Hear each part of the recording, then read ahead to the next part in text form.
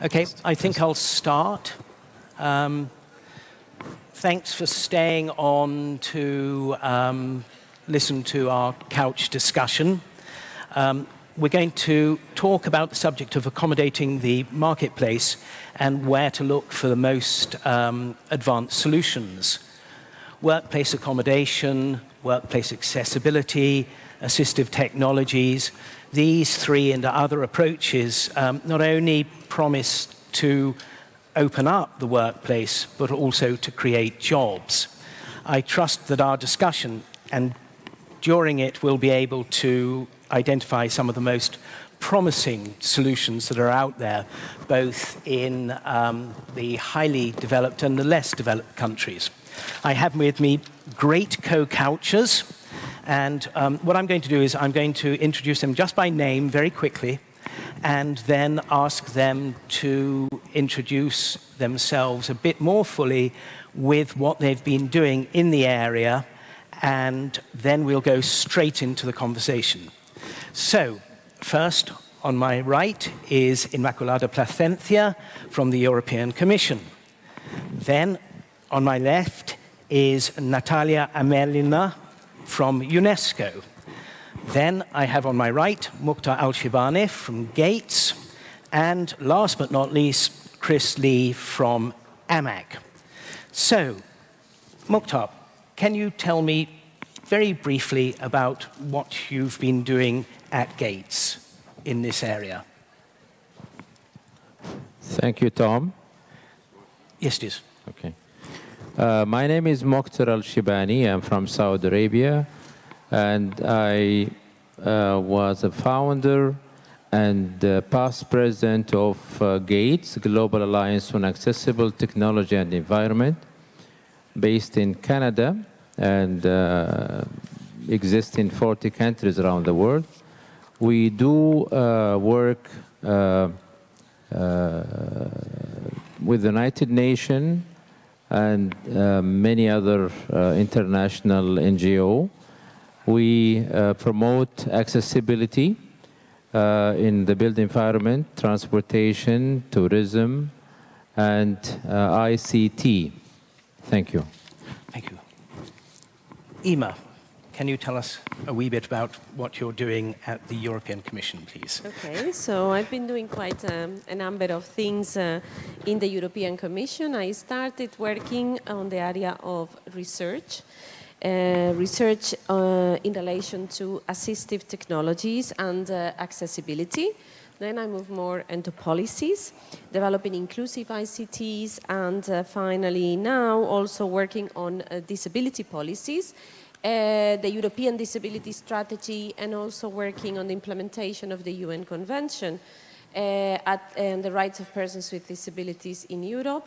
And um, my main area of work is on accessibility, the development of um, European accessibility standards and legislation, um, which now it's um, what takes most of my time uh, today. Wonderful. Thank you very much indeed. Natalia, can you tell us a wee bit about what you're doing? Uh, good afternoon for everybody.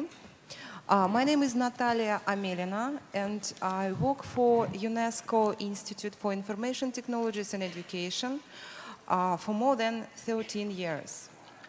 Uh, it is uh, UNESCO's Institute of uh, International Level, Category 1, and we work with all UNESCO member states all around the world. Our primary goal is to provide technical assistance and policy advice to the UNESCO member states in the field of ICT or information and communication technologies in different levels and different forms of education, starting from early childhood education until higher education.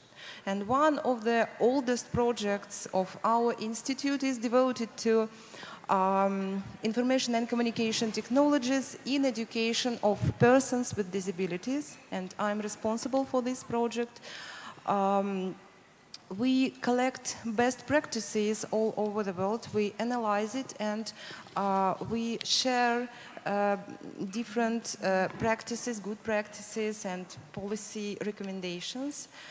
Um, actually, I also have uh, some other projects. Uh, I am responsible for the project of ICT for technical and vocational education and training, ICT for early childhood education, education, and ICT for primary education. So it is brief, and I'm from Moscow, from the Russian Federation. Great. That's all. Thanks, Natalia. And last but not least, Chris. Good morning, everyone. Actually, good afternoon. Um, I'm Christopher Lee. I come from Georgia Tech, Georgia Institute of Technology in Atlanta, Georgia, in the U.S. I run a program called AMAC Accessibility Solutions and Research Center. Um, Georgia Tech has a long history regarding ICT accessibility, and the project that I run, AMAC, is doing a lot in the area of training and technical assistance, as well as instruction around ICT. Our primary focus at AMAC is looking at collecting data to make better decisions. For example, over the last couple years, we've been focusing on looking at accommodations in higher education and tying them to retention and graduation rates. So to back up, all these accommodations making a difference for students actually graduating or staying in higher education. We're hopeful that we can take that information and move it into the employment sector. If you look at the literature out there, there's very little data. It's not very robust at all in regards to what accommodation, accommodations actually work. So that is one of the primary areas that we've been focused on um, by incorporating a software app package that goes into institutions across the U.S. with about 30,000 students tied to this software application right now. Georgia Tech has, I mentioned, a huge history in ICT accessibility. We have about eight research labs that focus on UX, IoT, um, robotics, and so on. So I'm happy to be here today and looking forward to the discussion. Great. Thank you very much, everybody. As you can see, we've got a most wonderful set of co-couchers. Ima, may I start off with the first question, which is, what do you think should be the involvement of government in accommodations in the workplace regarding, say, subsidies, regulations, standards? Okay. Well, I think that governments and in general public authorities um, really can do a lot. Yeah. They can do a, a, lot. They, they, they can take a, a, number of very important measures to support um, the employment and to promote and to advance on the employment of disabled people.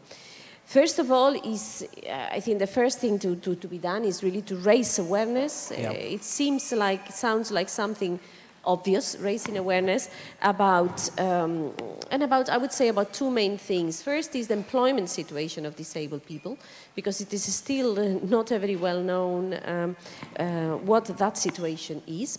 And second, about the capacity, the possibilities of disabled people to work, the capacity to work, which is still in some cases even restricted by law. So um, that, I would say, is the first measure. Then, of course, um, there is a need to collect data to, to really monitor what is, um, how is that um, gap in um, employment levels between persons with disabilities and persons without disabilities evolving. Um, and then putting a number of measures in, in, in place. For example, legislation is very important. We have uh, at European level uh, legislation that protects uh, persons with disabilities against discrimination in employment, but also legislation with enabling features. For example, the same uh, EU legislation requires employers to provide reasonable accommodation. The two things go hand in hand.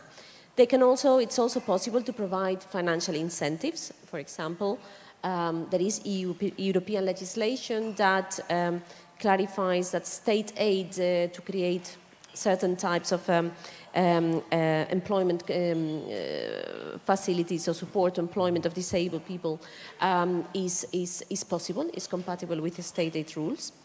Um, there is also uh, the need and the, the importance of um, public authorities to support training. I think it was said also during the first panel that training should be given to persons with disabilities, but also, and very important, to employees but also to employers, sorry, um, not only to employers, but also, for example, to public employment services and private employment services. They need also to cater for the uh, opportunities for um, persons with disabilities to get, uh, to get, um, to get uh, jobs. And uh, finally, uh, another very important thing that should not be underestimated is um, a number of background measures. Yeah. Um, accessibility, accessibility is a precondition for participation, for participation also in employment, not only to the premises of the employer, but also in general to the public um, transport networks, to the built environment in general, so that persons with disabilities really can participate in employment. This is this basic accessibility layer is uh, under the responsibility of public authorities, and it is really um, essential to um, essential to um, allow for uh, equal opportunities in employment. So I think I listed quite a number of measures. there are more, but uh, I'll return the microphone to you now. Great. Thank you very much indeed. Mukhtar, um, you've obviously had in at GAATES major interactions um, with governments. What, what, do you think the position should be? Uh, thank you, Tom. Uh, I believe um, uh, let's say I started with the accessibility issue uh, since 1980 when it was the, the, the World uh, Day of uh, Disability. And since that time, I'm working as an architect in the field of accessibility. So before the convention, nobody was looking to the accessibility seriously. And uh, when we talk with friends, architects, engineers, and they said, well, it is something, you know, not mandatory or it's not. But after the convention, uh, the awareness comes out, and that's why we created GATE as a global alliance uh, on accessibility and technology organization. And uh, with a number of uh, friends from around the world, we started uh, stressing on, uh, uh, on the accessibility issue. And no matter if we look to the disability, the employment, and the work, and the, the build environment, we have two things. We have the outdoor as a general, and we have the indoor also, very important. Uh, I will take an example of a factory who is going to employ 1,000 uh, employee from a disability issue point of view. So that factory, uh, which we had uh, studied, has to have uh, from the wayfinding from the beginning to reach that factory and all the other internal elements of that factory. Yes, there are some hazardous areas that uh, disabled person cannot work, but there are others who can work. I mean, they can equally uh, work with all the others, uh, you know, if the environment is being uh, uh created and uh, developed. So the awareness uh, in, among the engineers and the architects around the world is very important, very important. And all the legislations now and the training that our organization is doing, we are studying cities complete cities, you know, to make these cities fully accessible. And uh, it, it helps all of us. It's not only for the disabled person, it's for all of us, the elderly people, I mean, all type of uh, human uh, people living or visiting these cities has to uh, benefit from these accessibilities implementations around the world. Thank you. Thanks very much, Mukhtar. Um, Natalia. Chris, have you got anything to add in your experiences? Yes. Uh, well, uh, from the, the states, um, I think it's important that particularly um, when you look at um, Section 508 and Section 503 United States, um, training and technical assistance is crucial. Yeah. Um, and one of the challenges we face is uh, because of the size of the states, ensuring that it is implemented across um, the nation. And is something that I believe all federal and state organizations need to address, um, and they have been. It just needs to be more robust. Right. Natalia, have you got anything to add? You might not have. Might not have. Okay, right, one might not have. Okay, I'm going to turn to Natalia um, for our next question, which is just how important should vocational training be in getting a job? Okay, uh, actually, vocational education is very important to everyone nowadays, and we all understand it. And it is more important, I think, for people with disabilities. However, it is a coin of two sides, I would say, because uh, from one point of view, um, we all faced an open and global labor market today. And uh, an employee even it has uh, some difficulties, some disability, should have uh, very high competencies that will satisfy the demands of the employer. It is very important because it is some economical, economical law, I would say. And uh, the employee should be paid and the employer should get uh, the high level of performance of the work, the result of the work anyway. And from another point of view, any government which have signed and ratified the UN Convention on the Rights of Persons with Disabilities should provide the opportunities for all to realize themselves, to implement their social role everywhere. So uh, uh, the employment will be the best way to, um, to integrate, to in include these people into society. So it is a kind of two sides of the coin. Um, faced with high levels of youth unemployment, um, rapidly changing labor markets, uh, um, uh, technological advancements and social inequalities, many governments all over the world are trying to develop uh, skills and upgrade the skills of their citizens, and they uh, do it through technical and vocational education and training. In this context, UNESCO is calling for transformation of technical and vocational education and training, so it covers the full range of skills that are needed for the world of work. UNESCO considers TVET uh, as a part of lifelong learning concept. And uh, this uh, concept uh, uh, is providing an opportunity for all, including those with disabilities, to get um, educated and to get employed. the transformed vision of technical and vocational education and training uh, includes not only formal education from our point of view, but also non-formal and informal education as well. And also through advanced technologies like information and communication technologies. Based on its new strategy for technical and vocational education and training, UNESCO supports uh, the efforts of its member states to enhance the relevance of the technical and vocational uh, uh, education and training systems to equip uh, youth and adults uh, with the skills required for employment. Uh, so vocational education and training plays a very important role in the employment from every point of view.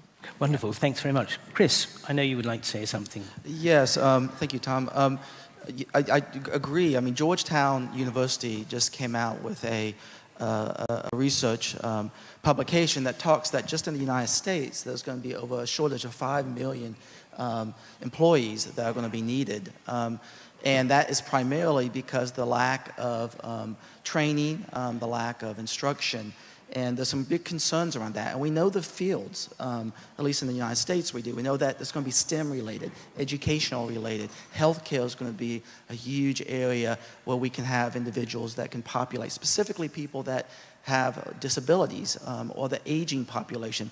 So I think training and technical assistance, vocational training technical assistance is crucial. And our vocational um, schools in the States have been doing a pretty good job, but now we've got such a robust um, resources around MOOCs, uh, the massive open online courses out there that are free. And for a lot of individuals with disabilities, with transportation being a related issue, this is a great opportunity. The challenge becomes, regarding ICT accessibility, all these MOOCs fully accessible. Can they get access? And we have issues with that with some of the, the platforms out there. So vocational training's there. Yeah. We need it. We know it. It can be remote and virtual or blended. Yeah. Um, but we've got some work regarding the accessibility of Right. platforms. Thank you.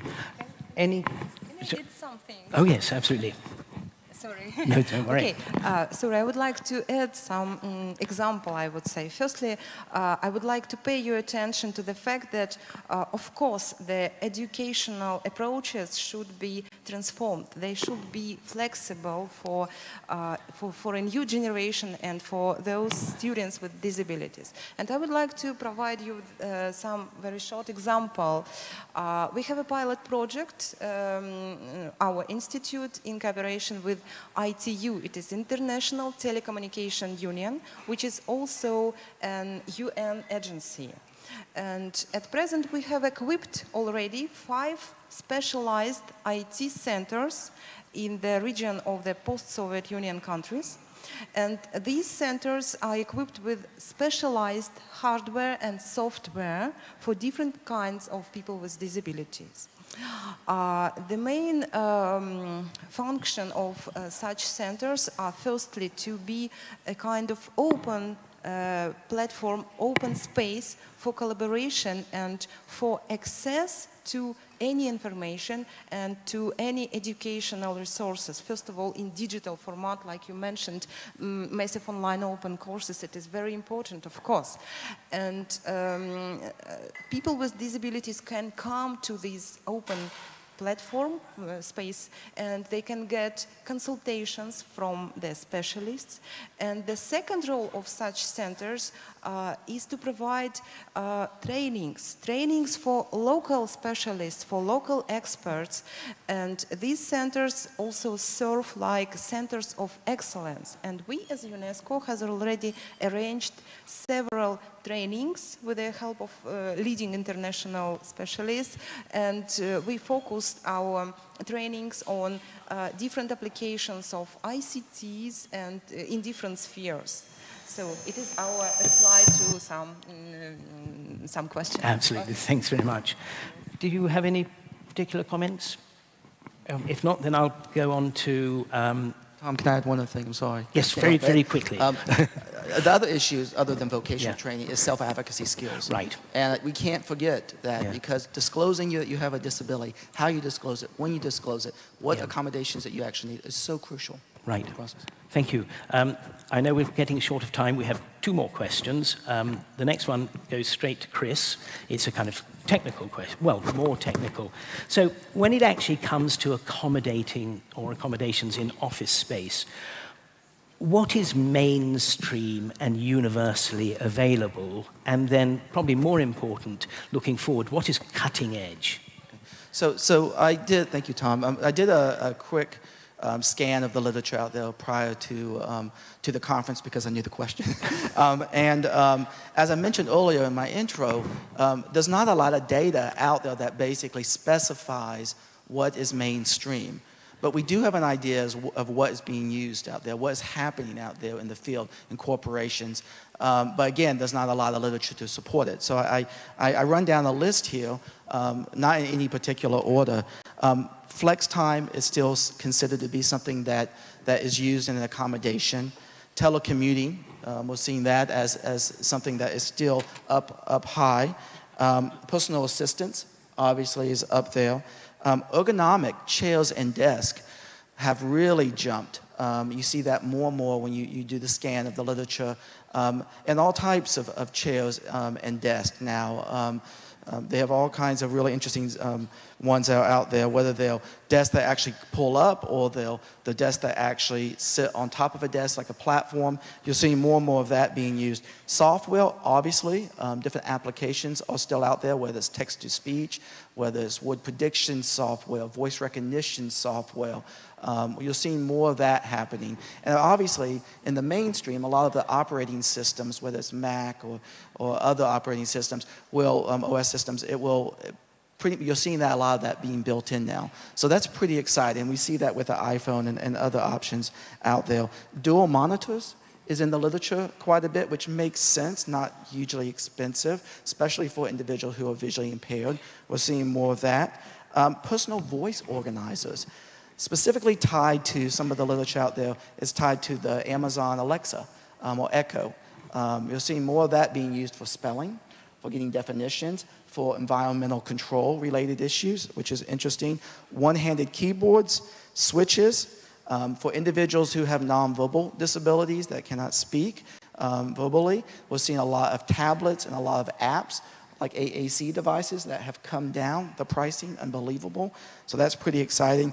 And um, beacons for kind of high tech is what you're seeing. So GPS beacons, so if you're blind and you're, you're um, your organization has beacons put in with your smartphone, you can actually get room from room, which is interesting. Not a lot being done in the States, a lot being done in Spain, tied to the ONCE Foundation.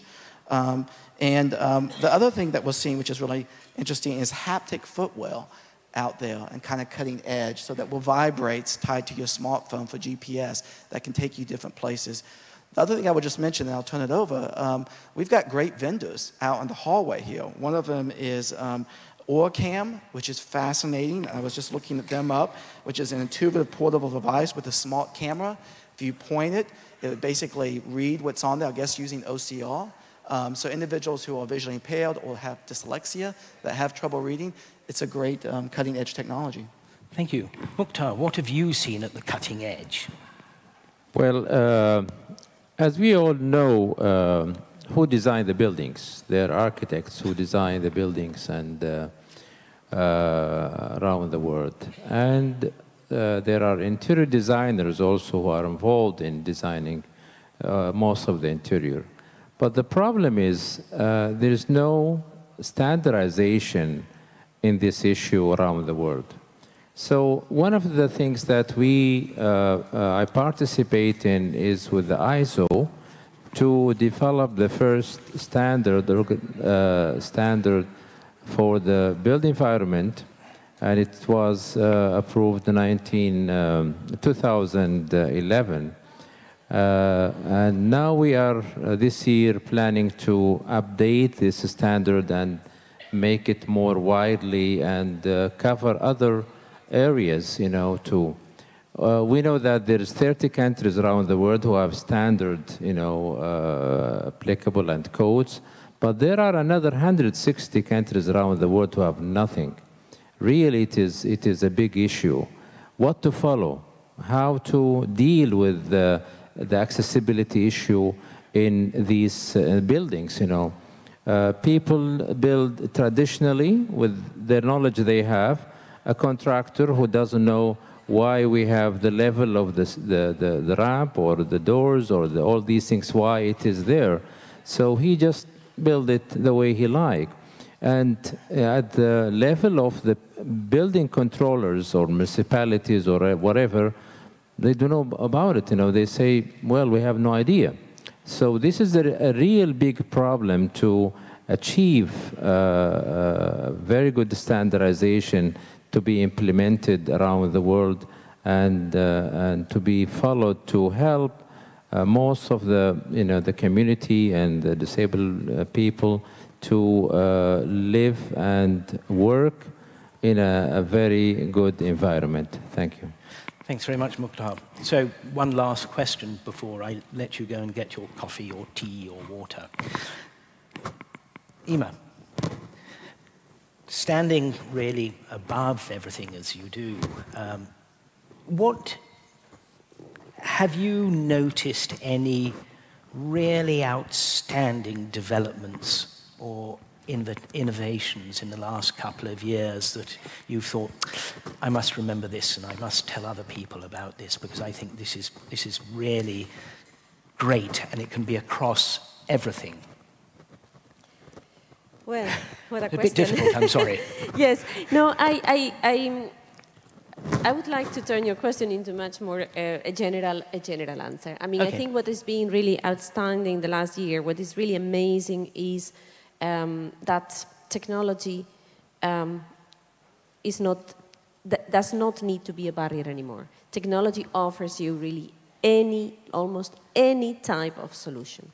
This is what I've seen really a big, big move, um, shift from when I started 20, 25 years ago working on assistive technology, where, you know, any solution, let me, for example, mention you, we had uh, projects uh, dealing to um, how to deal with graphical user interfaces. And at that time, um, uh, it was really a big barrier. People were trying to capture with a camera um, the, the, screen and then trying to identify whether they, what was being the screen was an image, was an icon, what was the function of the button and so forth, because that information was not there. Today, the day, uh, that is really over. I mean, there is this um, evolution towards mainstreaming certain accessibility features of technology and connecting better with assistive technology, and that is really um, what I, I see really as amazing. The point is to get it really implemented, regularly implemented, in, being known and being part of our, of our mainstream um, life and solutions. To tell you, I mean, there is nothing um, today from a technological point of view um, difficult about making a job advertisement accessible so that people uh, can read it on the web. Well, today is still a lot of job advertisements are not accessible. What about models for CVs when you get a CV? Um, sometimes you have to fill in a form that it is not accessible. Um, what about intranets at, uh, at uh, our work? I mean, many of the tools you have mentioned are great, but if the intranets are not working, then that's a problem. So I think that um, technology, any evo this evolution of technology allows us for making all these solutions available, yeah. and that is really the wow. I mean, now is let's use it. Right. Let's make it a reality. This is what I really see as, a, as, as the main, um, uh, yeah, important change throughout the years. Wonderful. Thank you very much indeed. Natalia, working with technology as you do, can you give us one or two of your absolute favorites that you're pushing as being the cutting edge and taking you forward at UNESCO? Okay, I would say that uh, really uh, information and communication technologies has a, uh, has a great power in education, in employment, in everyday life. Um, I will share with you good examples a little bit later in a in the future because uh, at present I would like to announce uh, some new projects which um, will be implemented by our institute uh, in, co in, cooperation, I hope, with you, with the experts and uh, private and their organizations. And this project will be devoted to ICT potential for skills development of persons with disabilities. We will collect uh, both um, advanced practices in the field of ICT in technical and vocational education and training, as well as uh, good policy solutions in this field. Um, that is why I invite you, all of you, if you are interested in cooperation, to contact me. You can fi uh, easily find my contacts uh, at the conference website and just send me a letter that you are ready for cooperation and you have some topic of expertising. So thank you very much. Wonderful. Chris?